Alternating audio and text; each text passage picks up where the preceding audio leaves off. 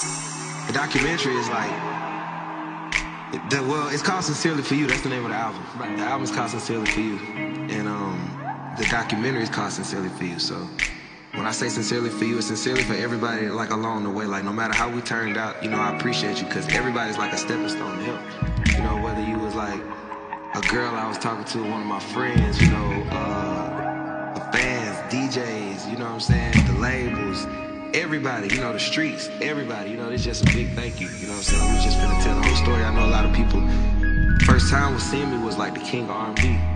And you know, they probably kind of rubbed me wrong. They probably didn't understand why I was feeling how I felt and why I feel like I feel. But I feel like once they see the documentary, it'll all make sense. I feel like everything is just starting to make sense.